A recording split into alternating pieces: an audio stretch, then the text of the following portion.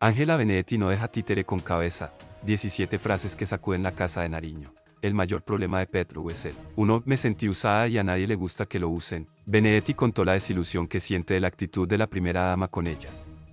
Creía que era muy cercana, nos encontrábamos en la sede. Además, yo hacía muchos eventos en mi casa, como desayunos, almuerzos y cenas, y ella iba mucho y el candidato también. Los encuentros eran con empresarios, ONG, entre otros. Perdí total contacto con la campaña, nunca más volví a hablar con ellos. La última vez que vi al presidente y a la primera dama fue el 7 de agosto de 2022. En varias oportunidades traté de dialogar con ellos y, lógicamente, no fue posible. Veo que en redes sociales me señalan y me critican, dicen que estoy dolida. Por supuesto, me sentí usada y a nadie le gusta que lo usen, pero eso pasó hace dos años. Nunca he tenido un dolor que me dure dos años, pero ahora veo que el país está en absoluta decadencia. Podemos mirar sector por sector. 2. El mayor problema de Petro es el, es un caos, es indescifrable. La ex embajadora habló del gobierno y la debacle que, según ella, está viviendo el país. Creí que iba a haber un cambio, me creí ese cuento, pero no. Petro, por ejemplo, criticó el sector financiero, y ahora lo veo arrodillado ante ellos. La decepción está por todos lados. No hay una sola entidad del Estado que no afronte escándalos y, si no los tiene, los va a tener. No veo bien al presidente, un día dice una cosa, otro día dice otra, es muy apasionado y las pasiones le ganan a su razón. En muchas oportunidades hemos visto a un mandatario ausente. Una de las mayores responsabilidades de un gobernante es a quien nombra y mire a su equipo, el ministro encargado de Cultura en su momento, Jorge Zorro, era el profesor de canto de las niñas de Petro, entonces por eso lo nombraron, dijo, y agregó, en el caso de Álvaro Leiva, su esposa era la profesora de piano de las hijas del presidente, entonces por eso lo designaron canciller. En el ICBF nombraron director a la vecina porque se tomaba unos tragos con la familia presidencial. Así podemos ver muchos de los nombramientos de Petro. Hay improvisación en todo, su relación con todo el mundo es otro problema. El presidente pelea cada segundo con alguien, hasta con su sombra, con el Congreso, las Cortes, la Iglesia, con los medios y los empresarios. Por donde lo mire, todo es un caos. 3. A mí me ofrecieron el ICBF. Me lo ofreció la primera dama, Verónica Alcocer. En la entrevista, Benedetti también contesta a todos los que en redes la han señalado de estar dolida porque no le dieron el ICBF. Y asegura que si le ofrecieron ese cargo y que fue la misma primera dama quien le quería entregar la entidad. Faltaban como seis meses para que se acabara la campaña cuando me lo ofrecieron. Verónica me dijo que quería que trabajara con ella y en el ICBF. Es la costumbre en este país que las primeras damas tengan injerencia en esa entidad. El ICBF tiene una junta directiva y, generalmente, vemos que el presidente de turno delega este espacio a la primera dama, pero después vimos que Verónica Alcocer nunca asumió ese espacio. Tampoco la he visto muy interesada en la niñez colombiana. A mí me atacan los petristas, pero no les paro bolas. Tengo mi conciencia tranquila, trabajé de corazón en esa campaña, incluso le ayudé al presidente en su campaña de 2011, hicimos una subasta de arte para recogerle una plata. Quedó elegido el 28 de octubre y dos semanas después me fui a vivir a Panamá como embajadora. Llegué en 2018, le ayudé un poquito, pero no como ahora. La verdad, me sentí usada por Petro y Verónica. Agregó que Petro sí sabía de ese ofrecimiento de su esposa. Un día hablamos los tres. Más allá de eso, Miremos esto, el presidente empezó con su popularidad en 60% y hoy está por debajo del 30%.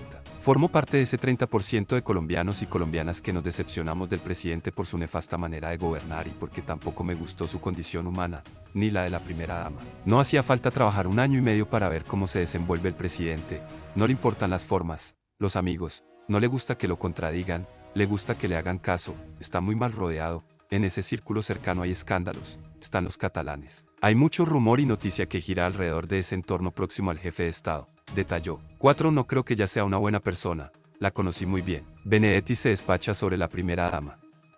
No creo que ella sea una buena persona, la conocí muy bien. No es una mujer de buenos tratos, no creo que sea una persona interesada por el país. Jamás la hemos visto ejerciendo su labor como primera dama. Sus intereses no están en el bien del país, de la comunidad o un cambio. Para nada. El ICBF tiene una junta directiva, el presidente tiene un cupo y, generalmente, los presidentes se lo delegan a las primeras damas. Así como me lo ofreció a mí, estoy segura de que se lo ofreció a las siguientes directoras del ICBF. En términos generales, los criterios para nombrar gente en el gobierno Petro han sido muy básicos y elementales. En su momento, por ejemplo, Nombraron a Guillermo Reyes como ministro de Transporte porque era el esposo de una de las mejores amigas de Verónica. En ProColombia pusieron a Carmen Caballero porque era la dueña del apartamento en Bogotá donde vivieron Petro y Verónica durante la campaña. Ante la pregunta de entonces, ¿qué intereses tiene ella? Benedetti apenas contestó. Siguiente pregunta. Benedetti contó que en su momento buscó a Verónica, pero nada, tengo mi corazoncito digno. Además, hubo un tiempo en que me retiré de las canchas, porque me estaba curando tras un impasse de salud. Cuando me curé volví a retomar mis temas. Ahí te respondí la pregunta sobre por qué hasta el segundo año opiné del gobierno. Me estaba curando el alma. 5. Por supuesto, hubo un maltrato horrible. La ex embajadora también habló del terrible ambiente que se vio en la campaña Petro. Hoy hago una confesión, me arrepiento de no haberme retirado. Trabajar en una campaña es estresante, a medida que se acercan las elecciones había una expectativa sobre si íbamos o no a ganar, y todo el mundo estaba dándose codo. Eso es desgastante y hay gente que va tomando más poder. Seguro muchas de las mujeres que hoy están nombradas en el gobierno no lo reconocerían porque las sacan al minuto siguiente. Por supuesto, hubo un maltrato horrible, dijo, aseguró que ese maltrato venía de Verónica Alcocer, de Eva Ferrer, de los catalanes. Yo trabajaba en una sede donde estaban las bodegas de Petro, los muchachos que, en algunos casos, fueron testigos electorales. Cuento una anécdota, en la sede de la campaña de Petro, si uno quería ir al baño, le tocaba llevarse la cartera porque se robaban los esferos, las gafas, me arrepiento profundamente de no haberme retirado. 6. Xavier Vendrell era el jefe de esos bodegueros. Benedetti también contó cómo funcionaba la estrategia de redes sociales de Petro. Era una cantidad de muchachos conectados en computadores publicando mensajes. Ellos sabían, tenían medido y conocían cómo volverse tendencia en cuestión de minutos. Y le respondían a quienes criticaban a Petro. Eso no solamente lo hacía esta campaña, lo hacen todas. Eso lo hacían en la sede de la séptima con 48 en Bogotá, otros permanecían en el exterior. Xavier Vendrell era el jefe de esos bodegueros. Con esos testigos electorales, Petro quería tener su propio partido. Decía, por ejemplo, que quería un ejército bolchevique. Sobre Vendrell aseguró que es un estratega, un político en Cataluña, fundador del Partido Independentista Catalán. Es como nervioso, sigiloso, como clandestino, manejaba a los muchachos bodegueros. Era muy importante para Petru y estos jóvenes, muchos de ellos, por ejemplo, están nombrados en cargos muy importantes. Álvaro Moisés Ninco estuvo de embajador en México, Sebastián Guanumen, en Chile, y otros trabajan en comunicaciones en la Casa de Nariño haciendo la misma tarea. 7. No hay un solo tinto que se tomen los catalanes que no se lo tome la primera dama. El papel de los catalanes en la campaña fue resaltado por Benedetti. Lo que vi en campaña fue toda la cercanía del mundo, especialmente de Verónica con Manuel Grau podría decirle que no hay un solo tinto que se tomen los catalanes que no se lo tome la primera dama. Es una parábola. Verónica conoce a Manuel Grau desde la alcaldía, son muy cercanos. Eva Ferrer salió de Palacio, debe tener muchísima información, no creo que la hayan tirado muy lejos. Dijo, sobre Eva Ferrer, contó que, trabajaba de la mano con Verónica, 24 diagonal 7, ellas sí que estaban juntas todo el día. Es un grupo de tres catalanes que pienso que llegaron a Colombia con unas expectativas muy claras de lo que venían a hacer. Luego Eva salió del gobierno, pero estoy segura de que sigue ahí, no con un papel protagónico, pero está ahí. De Vendrell también agregó algunos detalles. Los medios acaban de informar que tenía contratos en Urra. Puse un trino diciendo que Manuel Grau está en la junta de CISA. Y si a eso se le atan cabos, están en negocios inmobiliarios. En fin, es muy fácil sacar conclusiones solamente viendo la información de prensa. Fue muy extraño, por ejemplo, como estos tres catalanes obtuvieron su ciudadanía colombiana. En su momento fue un escándalo. Ellos, Xavier Vendrell y Manuel Grau, conocen al presidente desde la alcaldía. 8. Lo que hemos visto, de Petro, es que es un desastre, es un pésimo ejecutor, tilín tilín y nada de paletas. Benedetti hizo una dura comparación de Petro candidato y ahora Petro presidente. Era una petrista consagrada que con el tiempo se dio cuenta de que la cosa no era como yo pensaba. Nadie se imaginó que esto iba a salir tan mal.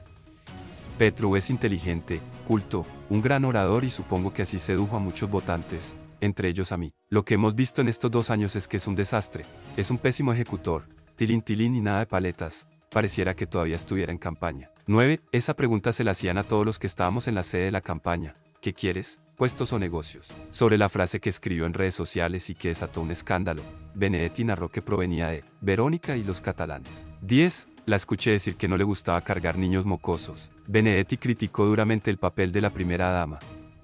Verónica no ha ejercido ese rol. No sé qué hace, pero nunca la hemos visto en un acto, solo la vemos en fotos premeditadas en redes. No creo que le interese eso, ¿quién la ha visto dando un discurso o haciendo algo? Ni siquiera ha ejercido como primera dama, creo que le daría jartera. La escuché decir que no le gustaba cargar niños mocosos. Imagínese de candidata, viajar si le gusta, que la nombren canciller. Hay gente que cree que Petro se va a reelegir, no creo que le interese, él no está feliz gobernando y no es capaz de hacerlo, ni siquiera se reúne con su equipo, ni con sus ministros. Honestamente, creo que Verónica desempeñó un gran papel en la campaña, no sé por qué después, mejor dicho, sí quiero saber por qué, Creo que Verónica no tiene relaciones de amistad estables, como tampoco las tiene Petro. En la alcaldía, él peleó con sus amigos, en la presidencia también. Todos salen molestos, ¿qué tendrán ellos? Dijo, nacionalizaron a los tres catalanes a la semana de llegar al poder. Verónica se fue mes de viaje con su séquito. A mí me echaron la culpa de que todo lo que publicaban los medios era mi responsabilidad. A mí lo que realmente me pasó es que Verónica me vetó, y no tengo ese poder para poner a los medios a hablar en contra de la primera dama. Después conocí a Concha Baracaldo, es directora del ICBF, fue en una peluquería y me dijo que a ella le habían informado que todo lo que salía en los medios era mi culpa. Que lo que publicaba el periodista Juan Pablo Calvás, de la W, era porque yo lo filtraba. A él no lo conozco, pueden preguntarle, dijo, 11. Creo que a cualquier persona con ese nivel de poder se le corre el champú, y más a una niña como Laura. En estos días vi una entrevista al exministro de Hacienda José Antonio Campo, y se refiere a ella. Conocí muy bien a Laura porque trabajó con Armando, mi hermano, es una niña que saltó de la universidad a trabajar con él como asistente y hoy, prácticamente, maneja el país. No tiene ningún tipo de experiencia, ni formación académica. Por eso, cada día entiendo menos al presidente y no solo yo, la gran mayoría no lo entendemos. Ocampo dijo en la entrevista que no entiende como una niña que no es economista, que no tiene ningún manejo sobre finanzas, economía y demás, esté hablando ahora de reactivación económica, posando estadista, como si quisiera hacernos creer que ella maneja estos temas. Imagino que, ante la ausencia del presidente, ella subsana estos vacíos. Esa es otra razón para decepcionarse de Petro, dijo Benedetti. Es una cosa de locos, de no entender, cualquier persona con un milímetro cúbico de sensatez no puede entenderlo, no le encuentro sentido. Ocampo dice que en los ocho meses que duró en Hacienda poco se reunió con el presidente, y que le tocaba a través de Laura, quien puede entender que un presidente deje el país en manos de una niña inexperta. Creo que a cualquier persona con ese nivel de poder se le corre el champú, y más a una niña como Laura. Ella, antes de posar de empática o de estadista, debería aclararles al país y a la justicia todo acerca de los escándalos en los que aparece salpicada, agregó. 12. Me parece bien que Armando se tome ese tiempo y se lo dedique. Armando es mi hermano y lo amo, pero tenga la absoluta certeza de que él no me consulta absolutamente nada de lo que va a hacer o va a decir y yo tampoco. Él es independiente y yo también. Tengo criterio propio, he estudiado, trabajado, me he preparado. Hablo con él y de muchos temas, pero de los trinos no. No se mete conmigo en eso ni yo me meto con sus escritos a lo largo de su carrera política. Aseguró que Armando tenía la expectativa de ser ministro, pero, lo mejor que le ha podido pasar a Armando es estar allá. Todos los políticos tienen un desgaste, no solo él, todos, hay investigaciones, un desgaste natural, y creo que le sienta bien retirarse un poco del escenario. Le digo constantemente que está en el mejor de los mundos, fuera de este berenjenal. El ambiente aquí en Colombia, en el gobierno, es tenso, políticamente hablando, es como una riña callejera, aquí no hay aliados, aquí todo el mundo se da contra todo el mundo, a mí me parece bien que Armando se tome ese tiempo y se lo dedique. Lo vi en vacaciones y está disfrutando vivir en una ciudad tan hermosa como Roma.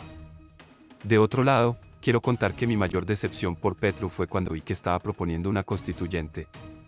En campaña, en 2022, firmó sobre mármol que no lo haría. Me daba puño y patada para defender a Petro, pero como no decepcionarse de él si la mayoría de cosas que prometió en campaña no las ha cumplido.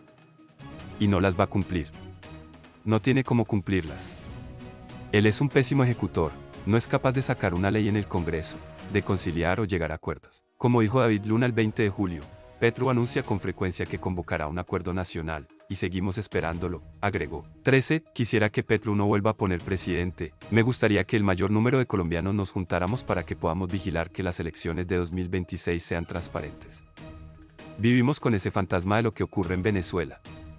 Quisiera que Petro no vuelva a poner presidente, que no quede ni él ni su figura en cuerpo ajeno. Apostaría a que Petro no pone presidente en 2026, eso depende de los electores.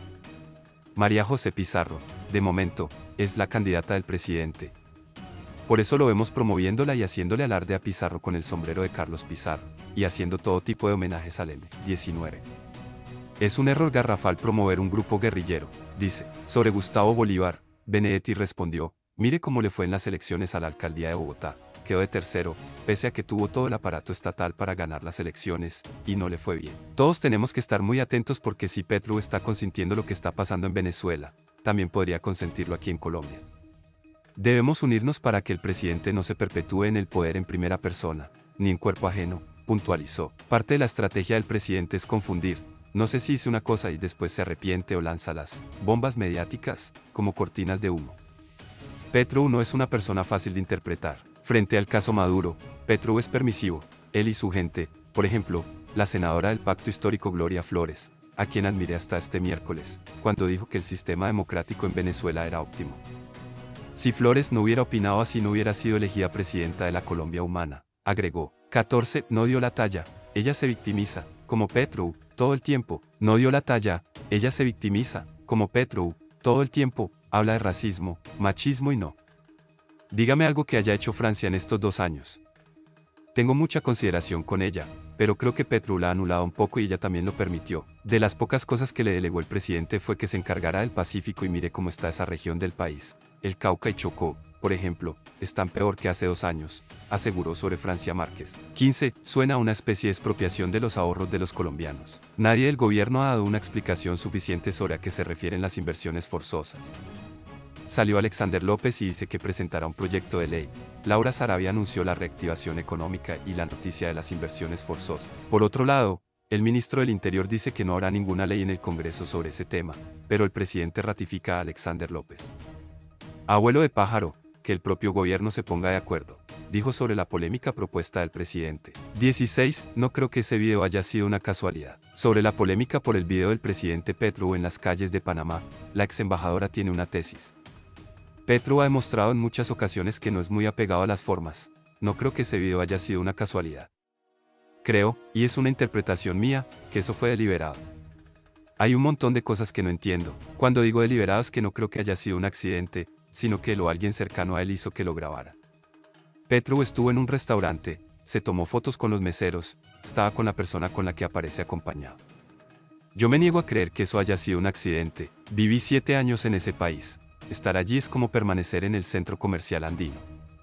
Hay ciertos lugares icónicos como los centros comerciales, el casco antiguo, era imposible que no lo vieran. Por eso, no creo que eso haya sido una casualidad, dijo. 17. Parte de la estrategia del presidente es confundir. La ex embajadora respondió de esta forma al ser cuestionada sobre una posible reelección de Gustavo Petro. Parte de la estrategia del presidente es confundir. No sé si hice una cosa y después se arrepiente o lanza las bombas mediáticas, como cortinas de humo. Petro no es una persona fácil de interpretar. Frente al caso Maduro, Petro es permisivo, él y su gente, por ejemplo, la senadora del pacto histórico Gloria Flores, a quien admiré hasta este miércoles, cuando dijo que el sistema democrático en Venezuela era óptimo. Si Flores no hubiera opinado así no hubiera sido elegida presidenta de la Colombia humana.